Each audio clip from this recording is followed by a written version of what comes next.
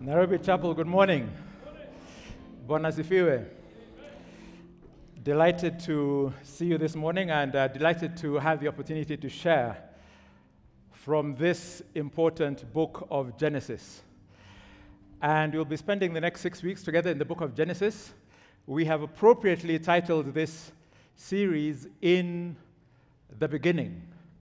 In the Beginning. Why do we find it important to talk about beginnings? And why is Genesis so important? You know, beginnings are important because if you want to find out what's wrong with the present, you often have to go back to the beginning. This is what happens sometimes in your relationships. You know, you can't understand this guy, you can't understand this girl. And you go to the counselor, and what does the counselor say? Tell me about your childhood. They want to go back to the beginning so that they can understand how you're behaving and what are the issues today. The beginning of the Bible is important. It's in Genesis that we find out how it all began. We find out how we began. We find out, find out how this world began. We find out how the universe began. And we find out about the God who began it all.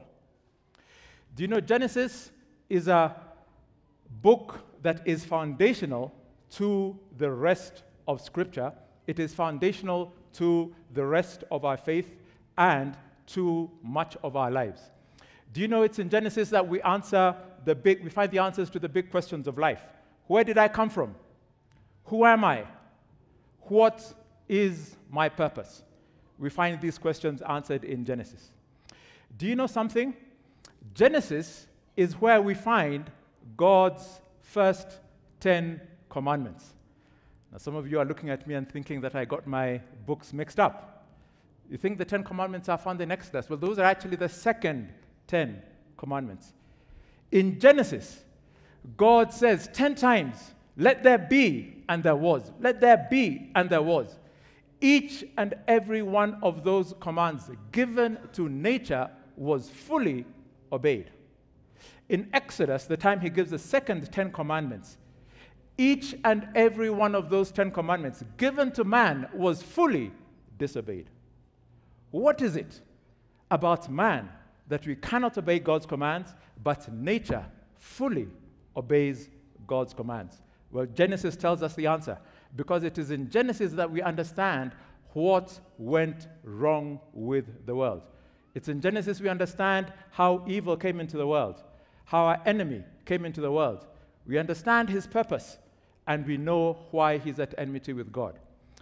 Do you know it is the book of Genesis that is quoted most in the New Testament after the book of Isaiah?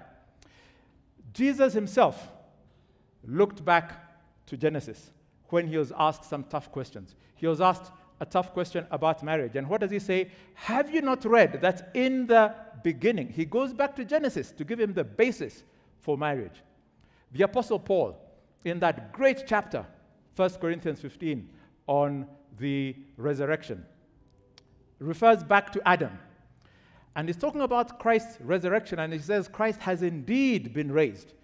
And he says, as in Adam. So he's basing the resurrection argument back on the book of, of, of, Genesis. As in Adam, all die, so in Christ shall all be made alive. This character, Adam, who is our common ancestor, Jesus himself, do you know, is actually referred to as the last Adam in that same passage. The first Adam, Paul says, brought death. The second Adam, Christ, brought life. Each and every one of us has to decide where and which one of those two Adams we are going to come under. If you are born naturally and only naturally, you come under the line of Adam, and that leads to death.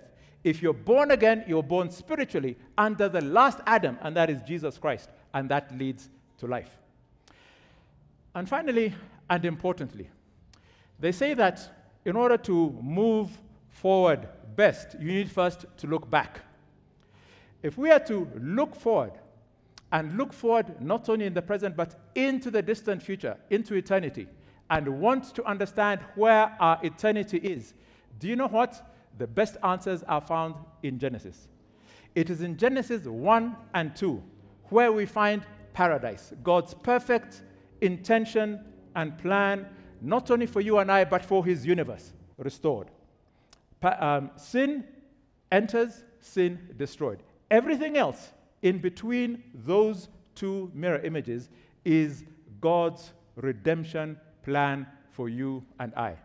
So, Genesis, my friends, is a book that is of supreme importance, and it is the foundation of the Bible. Now, let us then get into Genesis, and we're going to do our reading from Genesis. And I want us all to read from the book of Genesis, but don't open your Bibles, please, because we're going to do our reading from memory.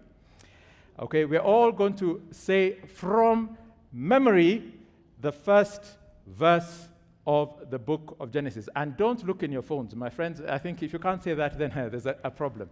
There's an issue. So let us say it together. The first verse of the book of Genesis, Genesis 1 1, together. In the God created the heavens and the earth.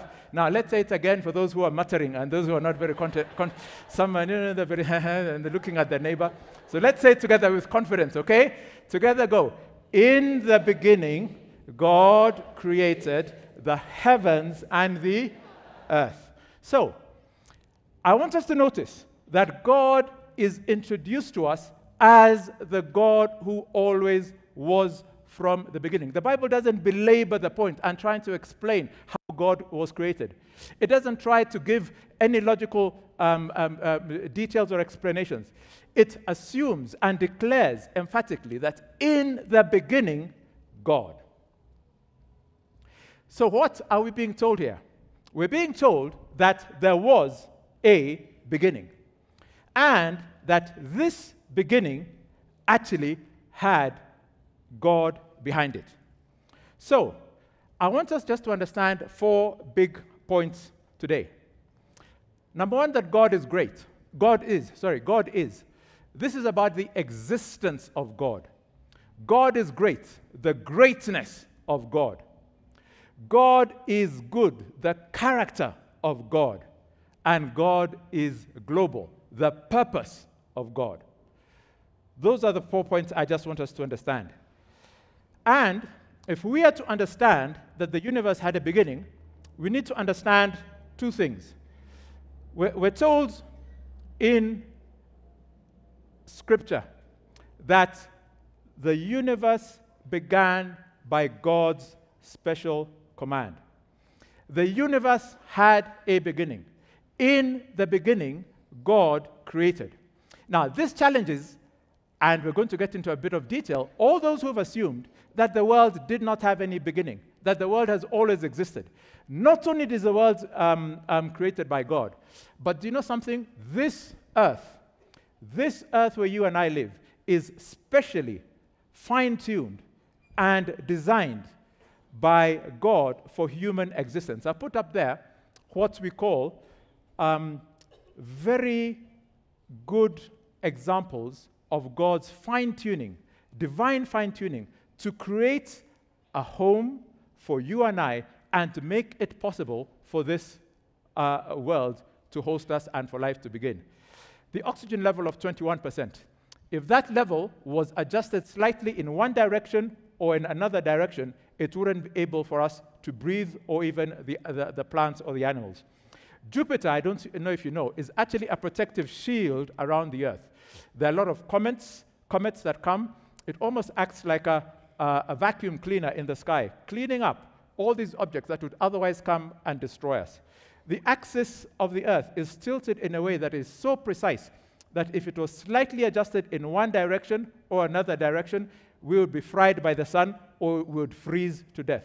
So, what is it about these, these divine settings that makes it so um, the, the, what is it uh, about these divine settings that actually show that God was behind it?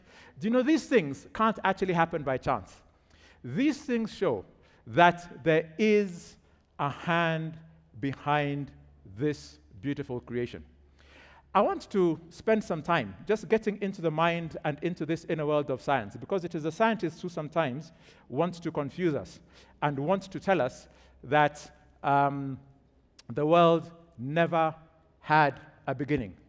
And I want to just show you that, contrary to what many people believe, that we Christians only operate on blind faith. We close our eyes and believe. And when we open our eyes after finishing uh, praying, we say whatever we believe. In other words, it is an argument despite the evidence. Whereas these are the people here who've got science on their side, say that they have got all the facts. And I can tell you that nothing is further from the truth. So just allow me to give a few examples. And just say that scientists also have faith based positions. And often, those positions are not theologically neutral.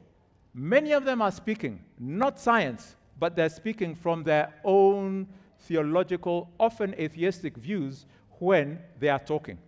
And here is a point to remember not all statements by scientists are statements of science. Some of them reflect their own bias. I just want to quote from one person. This is an eminent scientist whose name was um, Fred Hoyle, and he's the one who came up with a theory called the steady state theory. Now, here's what he said that the universe has always existed, that the universe has been there. Not only has it been there, it created itself. It didn't have any maker, it created itself, and it has existed since eternity. And when he was pushed, he even came up with a further theory. He said he was pushed about how did it begin? How did it begin? And he said this people from outer space came and planted some seeds in the universe, and then the universe appeared. Now, hang on a minute. Someone is trying to tell us that something came from nothing. Now, how many of you just know that uh, there's a small problem with that argument? And I'm just trying to tell you imagine something as beautiful as a very good and very expensive car is seen outside your parking lot. You see it outside your parking lot in the morning, and you say, So, whose car is this? and someone in your family comes and says, No, it's just got there.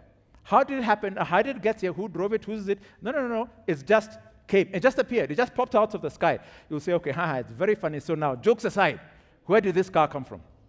So some scientist is trying to tell us something infinitely more complicated than a car, infinitely more complex, just popped out of nowhere. But this person, a few years later, and th- though this being the scientific consensus, all the scientists had agreed for many years that this is the way the universe was created. At some point, changed their mind. It was in 1965 that Uh, some other scientists came about and discovered that there is no such possibility. The world actually began through a process. The person who created this said this I philosophically liked the steady state theory, and clearly I have had to give that up. And he gave it up. Now, notice what he's saying. He's saying this was a philosophy, he's saying it was a hypothesis, he's saying it was a theory. He's actually saying it was an ideology, it was not science. Now, scientists, by the way, have some beef between them. And let me show you how this guy was taken on by his fellow scientists. So his steady state idea was found not to be science, but to be science fiction. And it's not me saying this. Let his fellow scientists speak. This is a quote from Arno Penzias, a former Nobel Prize winner in physics. Here's what it says The steady state theory turned out to be so ugly that people dismissed it. The easiest way to fit the observations with the least number of parameters was one in which the universe was created out of nothing in an instant and continues to expand. Now, first of all, if I'm a scientist and I'm presenting a paper, and then you come and tell me my theory is ugly, I'll say, first of all, hang on, is it to me who's ugly or my theory? You know, it's like I say, can you step outside and clarify? This person is actually saying this theory was totally bankrupt. And it's not me saying it, it is a fellow Nobel Prize winner who says this. Notice what he says, I've, I've highlighted it in yellow there, that the universe was created out of nothing. He is confirming exactly what the Bible tells us in Genesis 1 1.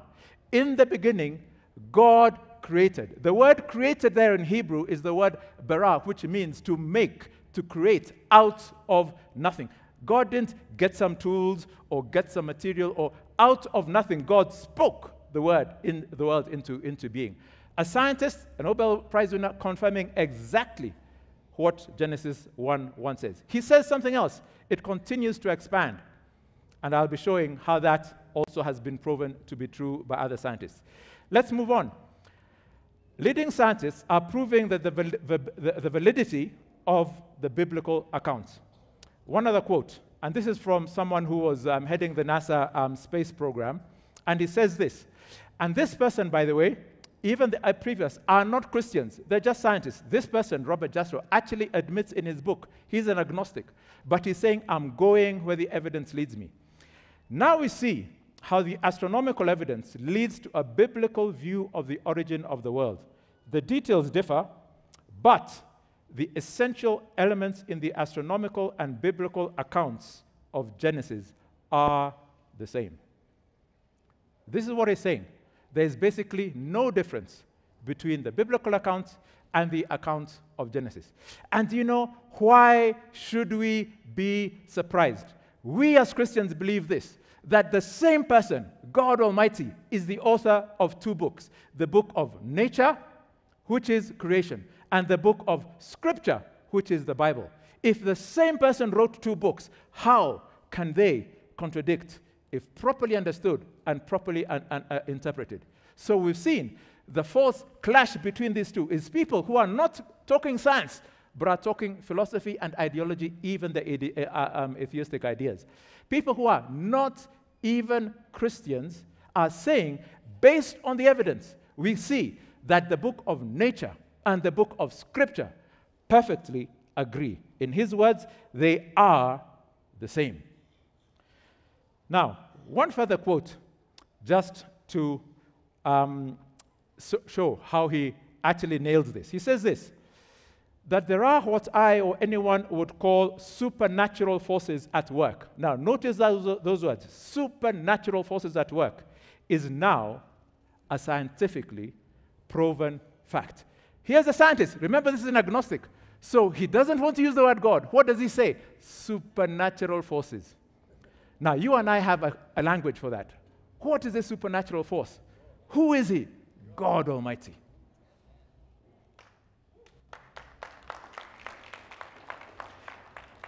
I just want us to see that when people are unbiased, and even the, the best scientists, Nobel Prize winners, people who run the best you know, um, uh, um, uh, programs on astronomy in the world, are looking at the world, the universe God created, and saying what the Bible says is true. Just one final quote. Here earlier on, remember the, the other person who said that the universe was created out of nothing in an instant and continues to expand. This is something that they found out. When they, in 1965, this gentleman who won the Nobel Prize, won it for his research and his science, which in 1965 created what was the theory that replaced the steady state theory. It was called the Big Bang, the- um, um, the Big Bang theory. Now, the Big Bang theory says this, and that is code for science. But basically, they're saying that the world did not always exist. It was created through one singular event, one singular event, by one super, super, super intelligent being. And it was created in an orderly way with very precise fine tuning, the way I've said, very precise fine tuning, so the planets aren't smashing into each other. They're created, and and it, continues to expand. So it started at one, one point, but it continues to expand. And the way astronomers find out the age of the Earth is they look, the further the stars are from, from where the telescope is, is how they understand how the world was made. So scientists are saying the world continued to expand. What does Scripture say? Isaiah 48. Indeed, my hand has laid the foundations of the earth, and my right hand has stretched out the heavens. When I call to them, they stand up together. Isaiah 40. God stretches out the heavens like a canopy and spreads them out like a tent to live in. Very poetic language. He's saying exactly through the mouth of Isaiah what the scientists are saying. Created in one event and is continuing to expand. So, I just want to reassure us that as we do our studies and as we look at the world around us, unfortunately, you'll find there are people who still will not accept this position. I want us to know, however, that as Christians we can be confident. We are not the ones with our eyes closed and the scientists with their eyes open. On the contrary, we have our eyes wide open. They are aligning with the biblical facts and the scientific facts for those who are not biased. Your colleges may teach your kids something different. People who are popular scientists may say something different. As we've seen, that is philosophy, not science. That is ideology, even science fiction. People from space age came and planted, uh, outer space, planted seeds in the world. Imagine, I mean, for a scientist to call a fellow scientist ugly, I mean, his theory is ugly. I mean, ouch. I mean, you must have done something serious. So let us be confident in what the word tells us. And I want us also to believe further that there is a God in heaven. And this God has revealed himself to us through nature. I finally want to quote just one final person. And this is a person who won uh, also a Nobel Prize in, in physics alongside, um, he's another co-inventor um, of, the, of the Big Bang Theory. Listen to what he says. Certainly there was something that set it all off. We call that creation. Certainly, if you are religious, I can't think of a better theory of the origin of the universe to match with Genesis. This is another agnostic speaking. There is no doubt that a parallel exists between the Big Bang as an event and the Christian notion of creation from nothing. What are they saying? In scientific language, they're basically saying this In the beginning, God created the heavens and the earth. So, my friends, this God, this awesome God, who was there at the beginning, is the creator. The world could not just have imagined, so complicated, could not just have imagined on itself, so complex, so well fine tuned a world so vast and magnificent, could not have made itself. It is impossible for anything to have within itself the power to create itself. Anything must have been created by something that is outside of it and has greater power of it in order for it to exist. And that is what this uh, uh, uh, scripture tells us, and these scientists are confirming. I want us to believe with confidence in the truth of Scripture. It is because of such things that one person wrote a book with the following title I do not have enough faith. I do not have enough faith to be an atheist. He's basically saying this in the face of all this evidence, you and I as Christians require so much less faith because there's so much evidence.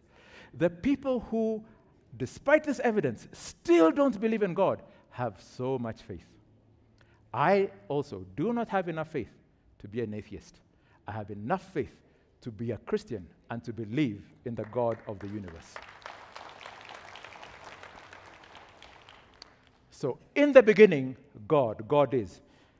I want us to watch a video about the greatness of God. Let's check the screen and see this video.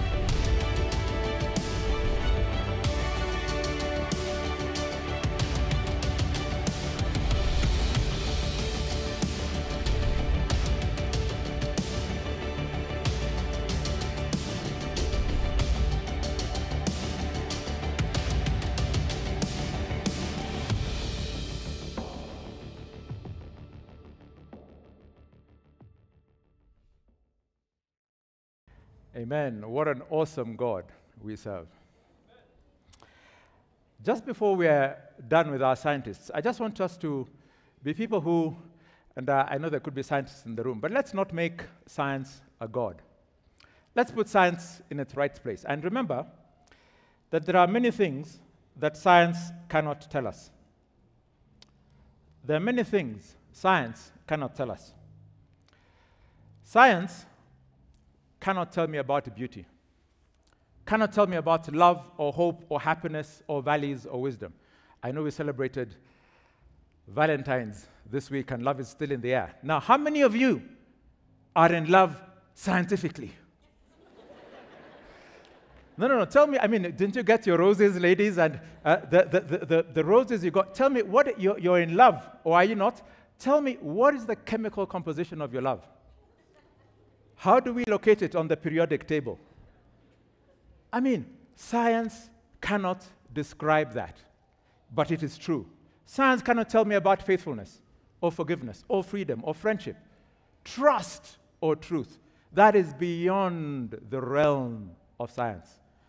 And science cannot tell me about meaning, about my purpose. It does not give me vision or courage it does not give me any compassion.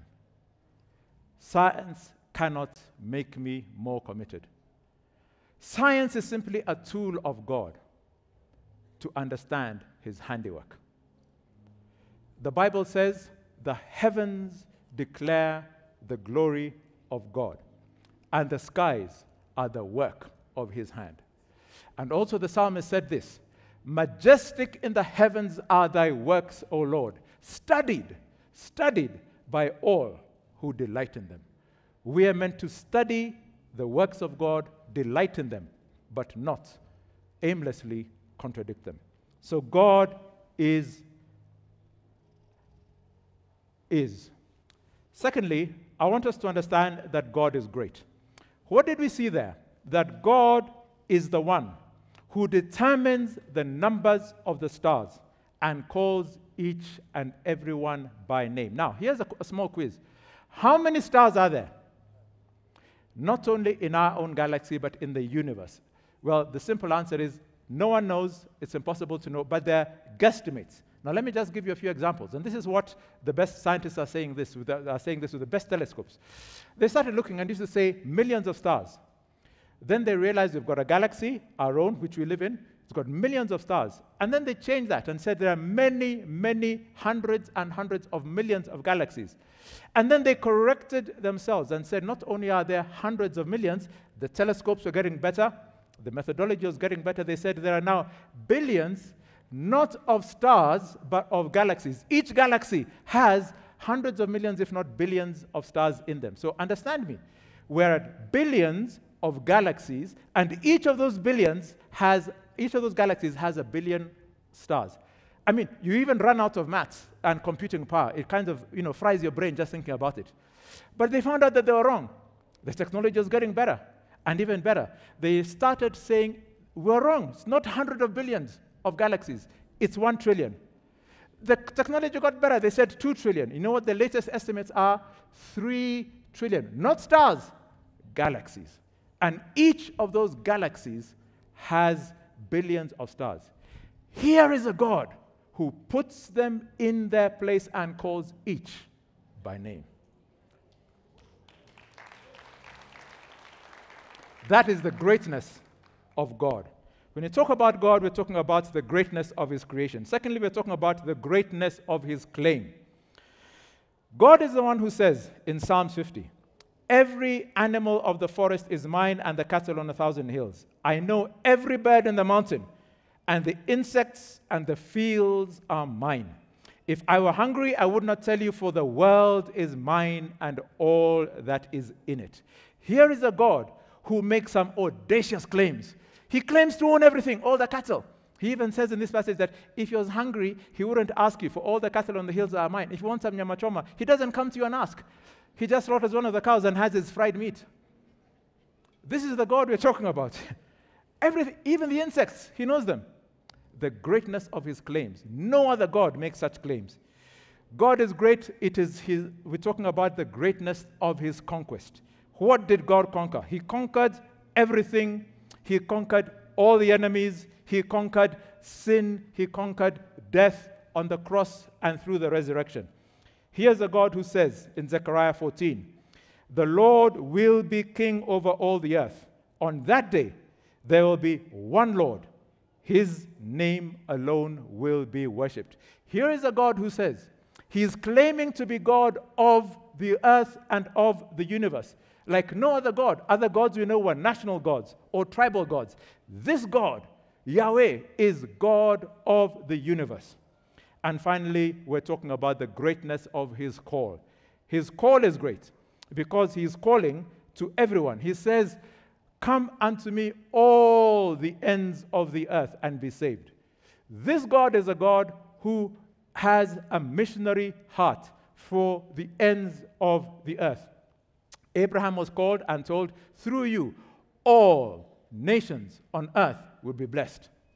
Jesus told his disciples, Go into what? All, the, uh, every nation, and make disciples of all nations. That word there in fact means all ethnos, all ethnic groups. This is a God who has a claim and who is calling everyone to come and be considered under his arms, to consider his claims and be saved. This is a great God. His greatness in creation the greatness of his claims, the greatness of his conquest, and the greatness of his call. But thirdly, I want to move on to the point that God is good. God is good, and here we're talking about two things. We're talking about the goodness of his creation and the goodness of his character. First of all, the goodness of his creation. Did you see in that video? What does God say? Every time he does something, he says, God looked and it was good. God saw and it was good. God saw and it was good. Well, why should we be surprised? A good God can only do good work. And this is work that is good functionally, but also work that is good visually, aesthetically. It is functional, it is also beautiful. A good God does good work. But this good God does good work because his character, his essence, his inner being is good. Notice in God's creation, there is no evil. God, at the end of his creation, looks at everything he has done. He says, It is good, it is good, it is good. Each day, at the end of the day, he looks, It is good. On the, on the, on the sixth day, he looks at everything together. He lumps it all together and says, It is very good. Nothing evil in God's perfect creation. We'll come later to discover, discover where evil comes from. But let us not blame God for evil. It is not present in his perfect creation. The other points to remember about goodness here is that God, because of his goodness, and because he made us in his image, is our basis for morality. Here is another problem for the atheist and the person who doesn't believe in God. They have got no basis within their own ideology for morality. Here's a question I want to ask you How do you know that a line is crooked. If I draw a crooked line and I tell you that line is crooked, how do you get that concept of crooked? It is because you know what a straight line is. You know this line is straight, so this line is crooked. If you had never seen a straight line, you would not know that this line is crooked. How do you know that something is morally wrong? Is because there is a God who is morally upright. He is the basis, He is the source of our morality. Without God, even some of the most offensive things are simply people's opinions. Now, let me give some examples. It's a bit extreme, but let me give some examples. Something extreme, like murder. We all know murder, murder is wrong, but hang on a minute. Where did you get that idea from? It's from a moral God who says everyone is valuable. Why? Because they're made in his image. Therefore, do not kill. But what if people don't have those views? And decide that you're less than someone made in God's image. This is what happened. Look at the Holocaust. Six million people, because they're considered less than perfect, that perfect race they wanted to create, six million people killed and butchered. You ask Hitler what he thought, he'll say, well, murder is wrong. That's according to you. He's not operating on your principles. On what basis is something as abominable as rape wrong? If someone doesn't have the same value, if there's no objective source, somebody could say, well, that's my opinion. Stronger is better. But there's something wrong with it inherently. Why? Because there's a moral standard. If you take out this moral standard, everything goes. And it's your opinion against mine. And we've got no standard for morality. The standard for morality, for that which is right, for that which is good, comes from the character of God Himself. God is good. The Bible says, Oh, taste and see. Oh, taste and see that the Lord is good. When Moses was asking God if he could see his face, and God really wanted, you know, he was kind of uh, happy with what Moses has done. And he said, you know, if I show you my face, you'll die. But how can I, how can I show you my personality and something about me? God says, okay, let's come up with this deal. And he goes and hides Moses in the cleft of the rock. And God says, I'll let um, something, I'll let my dash pass before, uh, uh, uh, uh, before you. What is it? He didn't say, I'll let my might or my power or my justice. What did God say? I'll let all my goodness pass through you. The one thing God wanted Moses to understand is that this God, who you speak to face to face, is good.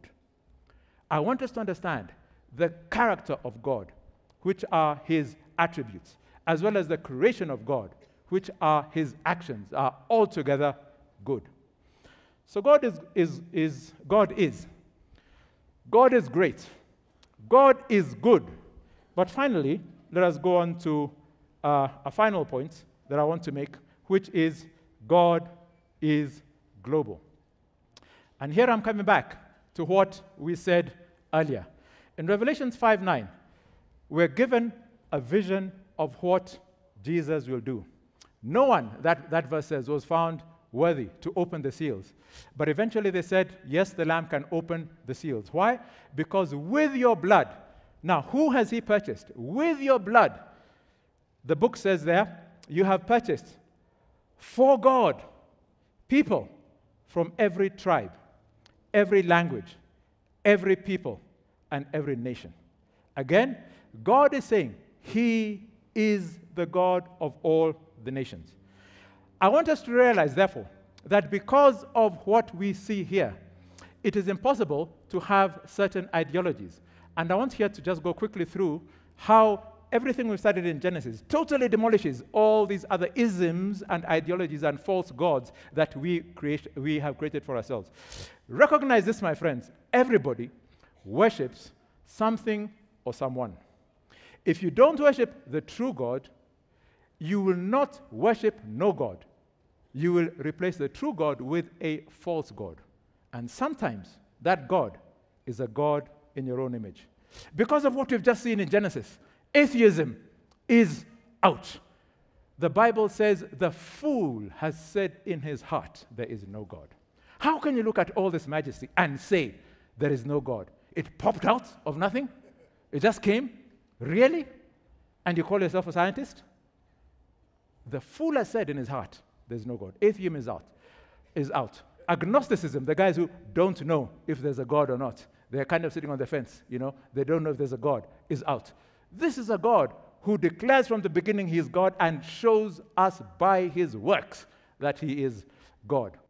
The gods of the East, pantheism, which is God is in everything. God is in this pulpit, he's in your chairs, He's in this tent. He's in your cars. Not, not that the Spirit is there. God, he's in the, in the actual engine of your car. That is out. God is the maker, but He is separate from His creation. He is not part of His creation. Polytheism, many gods, is out. God says He is a jealous God. What did we read in Zechariah? One God alone will be king. You cannot worship many gods. There's a new God that we have, and these are gods of the West. These are the gods of rationalism, the God of the mind. Your mind is not God, your mind is a creation. And sometimes you've seen people with very beautiful minds getting it so fundamentally wrong. Humanism, man is God, is out. Man is a creature, we are not God.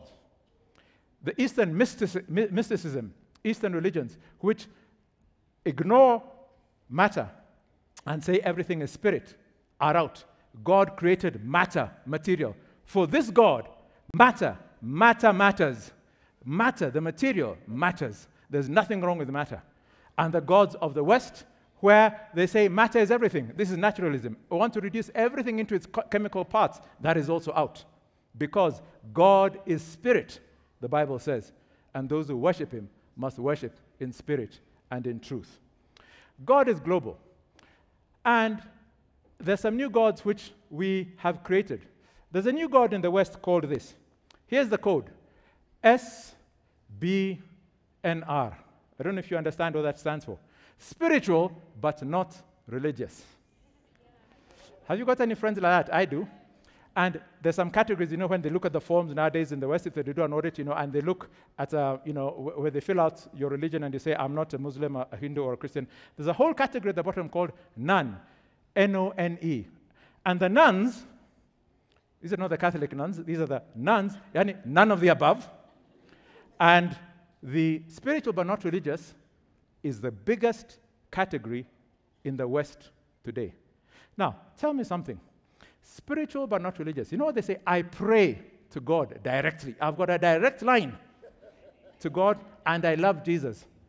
Some will even say, I read my Bible, but I don't get involved in these religions. The religions of men. You, that's the religions of men. I don't get involved.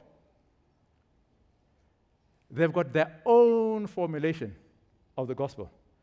Here is what these people don't realize they have made God in their own image.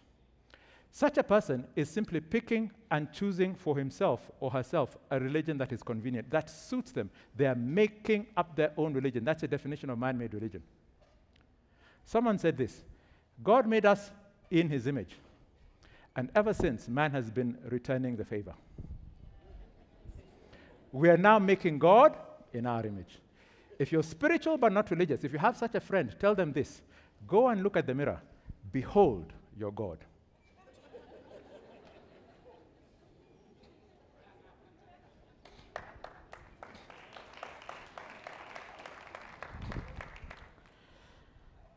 I want then to just conclude with two major issues and two ways in which we, I think, are getting this whole idea of worshiping God wrong.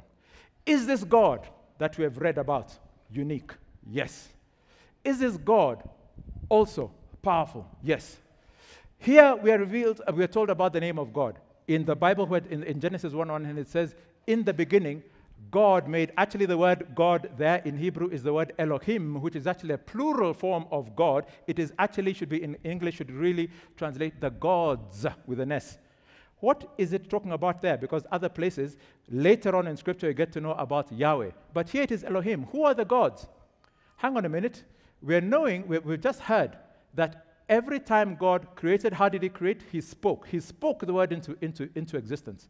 We know something about speaking because the New Testament t- tells us something. Who was the word? The word was who? Jesus Christ. In the beginning, John 1 was the word, yeah, and the word was with God and God, yeah, and uh, nothing, uh, go on, yeah, nothing made that was not made, yeah. And in other words, Jesus was there from the beginning, and nothing was made without him. Jesus was the Word. Later down in John, what does it say? The Word became flesh and dwelt among us. Every time God spoke, that was actually Jesus Christ. So that shows Christ was actually there in creation. The book of Colossians, again, confirms this. But also, Genesis 1, verse um, uh, 2 says this that the earth was void and formless, and the Spirit was hovering over the waters. Who is that? That's the Holy Spirit. So, hence, we have the explanation. The Elohim, the gods, are God the Father, God the Son, and God the Holy Spirit. Already we have revelation of a triune God. So, let us then compare and see whether this God compares with other gods. Just two issues I want to look at as we close. One is Is this God the same as the God of other faiths? One big, big question people ask Is Yahweh of the Bible the same as Allah of the Quran? And the question is not even which God is better, which God is more powerful. That is not the, the, the argument. The case is this is their personality the same? Let me give you an example, a very common name. If you look at a common name like, let's say, John Kamau, I know a John Kamau, and you know a John Kamau. If I want to differentiate my John Kamau from your John Kamau, what you do? We start getting into the personality. Describe him. How does he look? What's his personality? Is he married? How many children does he have? Where does he live? What are his likes, his dislikes? You begin to describe the personality. Well, let us do the same thing with these two gods. Allah is a God who is impersonal. The Quran says he lives under a veil and does not reveal himself. Yahweh is a God who is fully revealed to us in the scripture and through Christ. Allah is a God who is at war with his enemies. Yahweh is a God who died for his enemies. While we were yet sinners, Christ died for us. Allah is a God who works. You must work to achieve salvation. Yahweh is a God for whom you only get saved by grace and not by works, lest no one should boast. With Allah, there is no concept like original sin, so you must work. With God, our sins have separated us from His holiness, and we need another mediator who is Jesus Christ. So with Allah, there's no need for the cross because there's no concept of salvation. With Yahweh, the cross is the center of his healing and restoration for us. You answer for yourselves are those two gods the same? You clearly see a difference in the concept of God.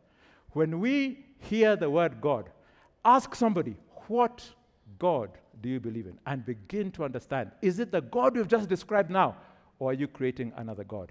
And by the way, that's a, a, a sermon for another day. There's a fundamental difference if you do the same exercise between Jesus and the person they call Isa in the Quran. Just do the same exercise.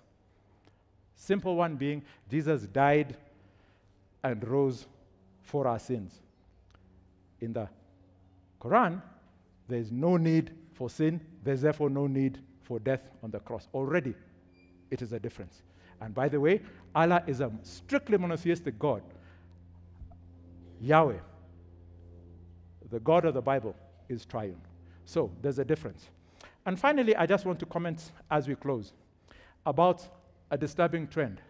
And this is a disturbing trend which I've seen in our churches, particularly churches from this region. As a picture here I'm going to put up, this is very disturbing. I saw this when, when I was coming from church last Sunday. Can anybody explain to me, anybody who comes from that region, what is going on here? I see some people smiling. What is going on here? What is it about us people who are from this part of the world? We're abandoning our God and going to traditional gods. Why? Because of this idea that this is the white man's religion. Ever heard that argument? So let me ask this question Do we as Christians worship the white man's God? Some say no. Some are not so sure. Well, let me just demolish that argument and just spend a few minutes explaining this that we Africans have got our African fingerprints all over the Bible, and also all over early Christianity, and also all over the history of the church. I'll go quickly here, I'll give you a few references, but let us proceed. If we can just say, first of all, this remember, an African, an African carried Jesus' cross. His name was Simon of Cyrene. Africans were present at Pentecost. How do you know this? It says in Acts 2 when the Spirit came, there were people from Cyrene and people from Egypt. At Pentecost, there were Africans. Africans were in the first church and were the leaders of the church. Those Christians from Cyrene, it tells us after the dispersion, after Stephen was, was uh, stoned in, in, in, Acts chapter 8, and were, Christians were dispersed, some of them went to a place called Antioch. And they became leaders in the church in Antioch. Now, here's what happens. This is Acts chapter 11. The beginning of Acts chapter 11 tells, this, tells us this. There were in Antioch leaders there who people came from, uh, from Cyrene. Cyrene is a town in northern, uh, uh, northeastern um, uh, Libya. It was a very prosperous city then. So these Libyans actually went and started preaching to the Greeks in Antioch. What happened? Many of them got converted. There was such good news about the way the Spirit was blessing them. Barnabas went and got the Apostle Paul and said, Come here and actually find out, see what's happening in Antioch. The Apostle Paul comes, and with Barnabas and Antioch, they stayed there working with the other Christians. I want us to notice this that the Christians in Antioch who were leaders of the church were Africans, amongst others. Where's my evidence? Acts chapter 13. Acts chapter 13 actually names these, they were called prophets and teachers in the church, five of them. It says Paul and Barnabas, those are there. There's a, Roman we can uh, assume was, was Italian called Man-. And then there were two other people. There was Lucius, that was the leader from Cyrene, who was a prophet and teacher, and Simon of Niger. And Niger was actually the Latin name meaning a very dark skinned man. Those are the five prophets and teachers in Antioch. It says something interesting in Acts 13 um, um, 4. It says this that they now wanted to commission Paul to go out and preach. Well, Paul and Barnabas were commissioned to, be to, to go out and, and preach. Who laid hands on them? It's these three people the Roman guy called Manaen, the African called Simon of Niger, and the African called Lucius of Libya. Two Africans laid hands on the greatest evangelist the world has ever known. I want us to go further and understand that it was in Antioch, the Bible says in Acts uh, chapter 11, verse 26, that the believers were first called Christians. Well, guess who were the leaders of the church in Antioch? They included one African called Lucius and another prophet and teacher called Simon. Totally fake news to say that this is white man's religion, but that is in the Bible. Let me now come out. I don't know if you realize how influential the early church fathers were, and that in the Bible, the African church in North Africa was the center of global Christianity for the first 600 years. And Christianity moved to Ethiopia and Nubia during New Testament times and never left the continent. I emphasize. There's some names that you must get, and I want you to take a picture and remember these names because these are people who are heroes of not the African church, but the global church of Christ. Athanasius from Alexandria in Egypt, Aurelius and Cyprian from Tunisia. Clement and Origen of Alexandria, and Tertullian. Tertullian, an absolute giant of the Christian faith. These are people who protected the church from heresy, shaped doctrine, they wrote the creeds. They were instrumental in converting Europe to Christianity, not the other way round. The, the, the, the Scots and the Germans and the French and the English were civilized and evangelized by the influence of African Christians. Let's get our history right. If we're to read history, let us read it honestly, not conveniently to fit the narrative. And these are people who we can therefore claim, because of this, that Christianity is indeed an indigenous African religion. Tell me something. Those of you who say that Christianity was brought here by the white man 200 years ago, why are you ignoring the fact that Africa was the host of Christianity 2,000 years ago, and the Christianity has never left the continent. Who has a bigger claim to be indigenous? Someone who's been around for 2,000 years or 200 years? Let's be honest about our history. And this is what we find. These are the people who we must, we must look. But there's one person I must tell you about because he stands in a class by himself. And his name is St. Augustine of Hippo. This man is the single most influential Christian in history after the Apostle Paul. Single most influential Christian, and he was an African Berber from uh, Algeria, an African from the Berber tribe. And go up and read about this man. This is just a few highlights. We don't even do him justice. His ideas have shaped Western political thought and Christian thought. Not just Christian thought, but political thought. Anybody doing political science or theology or philosophy cannot go through their majors without studying this man.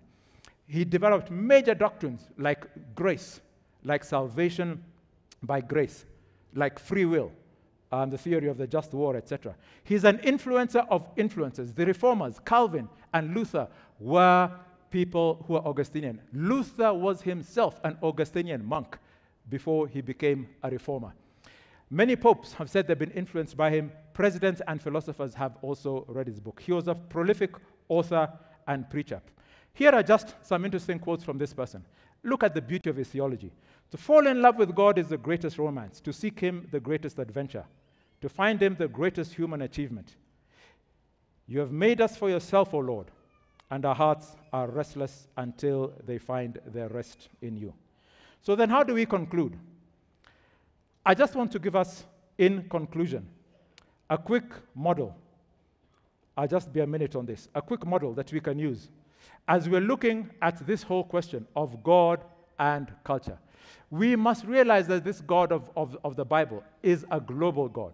He's a God who wants to save the whole world. But with any culture, when it is looking at Christianity, there are three things you must look at. And this is a model for any pre Christian group. There are some things you must retain, which are good your language, your dress, your food, your festivals, your values. There are some things we can redeem. I believe our rites of passage, what we call ropes, rites of passage experiences, can be redeemed as we take our young boys and girls, but teaching them the values. The boys may go through the cut, the girls know, but you're teaching them values as they go through different life stages. But, my friends, there are things we must reject. Rituals. All those rituals we do during the funerals. Guys, let's spare us the drama during funerals. What are you Christians doing? Slaughtering bulls facing the east and then sprinkling the blood. What is it that we're doing? Spare us the drama and let us be true Christians. Blood sacrifice, my friends, be very careful about dabbling with blood sacrifice. It is a legitimate way of covenanting with evil spirits. You're giving evil spirits ritual um, access and legal access into your lives. Libations and calling for spirits. And by the way, the covenants, there's this thing about joining the Kiama. I don't know how many of you men have, uh, have joined Kiama, eh? but I've been invited two times and I've refused. And I'll tell you my reasons. The Kiama, what happens is that first of all, you sa- sacrifice a goat. I don't believe a goat should be sacrificed because Christ, the perfect lamb, has already been sacrificed. When you join the Kiama, you also join a covenant, and I've already made my covenant with Christ. When I join the Kiama, I stand in line in succession to become a high priest. Christ is already my high priest. And he's the perfect high priest who doesn't need to make sacrifice for himself because he is perfect. He does not need to repeat that high priest sacrifices for himself. Christ does not sacrifice for. Read Hebrews. He is the perfect high priest who once and for all made the perfect sacrifice on the cross. You can't double in both. And then finally, my friends, we must stop wearing protective charms. Some of you guys see amazing things in the gym eh, when you're changing. you look at those things people are wondering, and also some body cuttings, and you wonder, where is it, what is this from? Do you want the protection of charms or the protection that Christ bought on the cross? That he defeated every spirit on the cross. And we should stop, my friends, go and worshiping mountains. What are you doing worshiping a mountain? Do you worship the mountain, the God who lives in the mountain, or the God who made the mountain? The Bible says that the mountains melt before God like wax, and the hills tremble and shake. Which God are you going to worship? So, my friends, let us then, I end with the words of Joshua Choose you this day whom you will worship. Is it the gods your ancestors worshipped beyond the river? or the gods of this modern land of the Amorites. If it be too hard for you to choose, you decide. And then Joshua ended in these famous words But as for me and my household, we will serve Yahweh. Let us stand up and pray.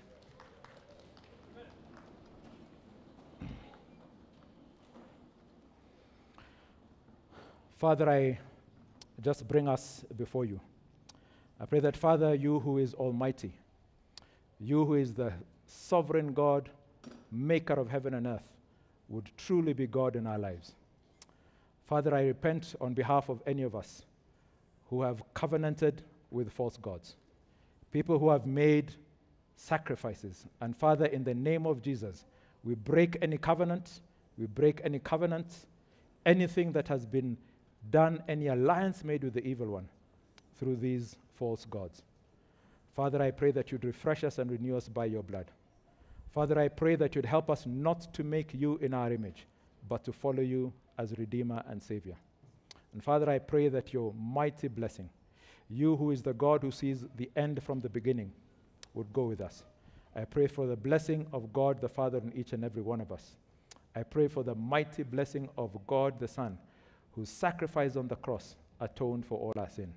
And I pray for the blessing of God the Spirit, who perfects us and teaches us the truth of Christ.